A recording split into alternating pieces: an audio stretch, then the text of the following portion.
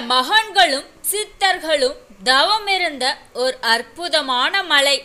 கோட்டைகளும் கோயில்களும் பல வரலாற்று பொக்கிஷங்களை கொண்டு தாங்கி நிற்கின்றன. இந்த மலையின் அடிவாரத்தில்தான் இந்த ஆலயம் காணப்படுகின்றது. வணக்கம் and welcome to Mala story நான் உங்ககிட்ட பேசிட்டு இருப்பது செம்மல சங்கர். இந்த கோவில் எங்க இருக்குன்னு பார்த்தீங்கன்னா விழுப்புரம் மாவட்டம் திண்டிவனத்திலிருந்து மரக்காணம் செல்லும் சாலையில இந்த பெருமுக்கல் மலை அமைந்துள்ளது. இந்த மலையின் மேல்தான் முக்தியாலீஸ்வரர் திருக்கோவிலும் கோட்டைகளும் ஆஞ்சநேயர் ஆலயமும் சீதா அன்னை குழந்தை பெற்றெடுத்த அற்புதமான குகையும் அமைந்துள்ளன. இதெல்லாம் பார்க்கறதுக்கு முன்னாடி நம்ம ஒரு சுவாரஸ்யமான ஆலயத்தையும் காணப்போகிறோம். இந்த கோவில் இந்த மலையோடைய அடிவாரத்துல தாங்க அமைந்திருக்கு. இந்த கோவிலின் பெயர் தாழக்கோயில். ஞானமும் மன அமைதியும் தரும் ஞானமலையாக இந்த பெருமுக்கள் மலை அமைந்துள்ளது. இந்த அற்புதமான தாழக்கோயில் பல கலைநயமிக்க ஆலயம். இந்த கலைநயமிக்க ஆலயத்தை பார்ப்பதற்கே நெஞ்சை உருக்கும் வண்ணம் மனதை பதறச் செய்கின்றன.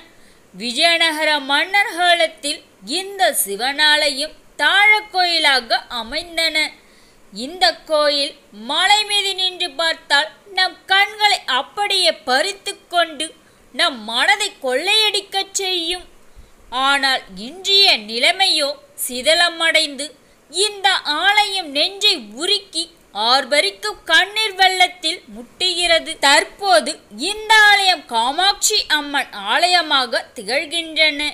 காஞ்சி காமாட்சி அம்மன் மன்னர் காலத்தில் சிவகாம சுந்தரி என்ற பெயரில் அருள்பாலித்ததாக புராணங்கள் கூறுகின்றன. கோவில் சுவர்களிலோ காணப்படும் யானையின் சிற்பங்கள் மிகவும் நேர்த்தியாக ஒவ்வொரு யானையும் ஒவ்வொரு வரலாற்றுக்களை சுமந்து கொண்டிருக்கும் வகையில் சுவரின் சுற்றிலும் நேர்த்தியாக வடிவமைக்கப்பட்டுள்ளது. இந்த ஆலயத்தில் பல கல்வெட்டுக்கள் காண முடியும். இப்படி அழகிய சிலைபாடுகளுடைய சிற்பக்கலைகள் மிகுந்த இந்த அற்புதமான ஆலயம் தற்போது சிதிலமடைந்து உள்ளே கூட யாராலும் நுழைய முடியாத அளவுக்கு நாம் தள்ளப்பட்டுள்ளோம் என்பதே வேதனைக்குரியது. உலகிற்கே ஒளியூட்டும் இறைவனுக்கு இன்று நாம் ஒரு தீபம் கூட ஏற்றி ஒளியூட்ட ஒரு ஆள் கூட இல்லாமல் போவதுதான் தற்போதைய எண்ணிலடங்காத சங்கடமாக உள்ளது. இந்த பொக்கிஷம் நிறைந்த ஆலயம் புதுப்பொழிவு என்று பெறுமோ? தொன்மையான வரலாற்றுக்களை கொண்டு ஒவ்வொரு இடத்திலும் ஒவ்வொரு சுவற்றிலும் சிறிய சிறிய நுணுக்கமான சிற்பங்களை யாருக்கும் உயிர் கொடுக்கவில்லையோ என்று கண்ணீர் வடிக்கத்தான் தோன்றுகிறது. இம்மலையில் பல்வேறு ஞானிகளும் முனிவர்களும் சித்தர்களும் தவமிருந்த மலை. மயில பொம்மபுர ஆதித்த பாலசித்தர் பாலய சுவாமிகள் மற்றும் எண்ணற்ற மகான்கள் இம்மலையில் தவமிருந்துள்ளனர் மலையில் அற்புதமான கோட்டைகளும் கோயில்களும் மற்றும் சீதா அன்னை வாழ்ந்த குகை.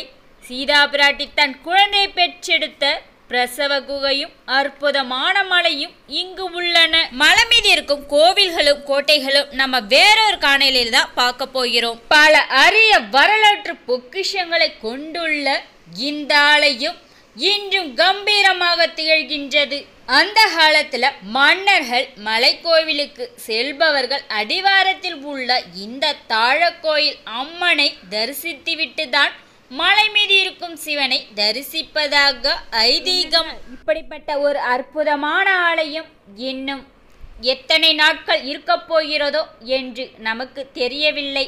இன்னும் நான் பார்த்த வரலாற்று சிறப்புடைய ஆலயம் ரொம்பவே சுவாரஸ்யமானதாகவும் மிகவும் பயனுள்ளதாகவும் அமைந்திருக்கும். நீங்கள் என்னமோ நம்ம சேனலுக்கு சப்ஸ்கிரைப் பண்ணலன்னா சப்ஸ்கிரைப் பண்ணிக்கோங்க.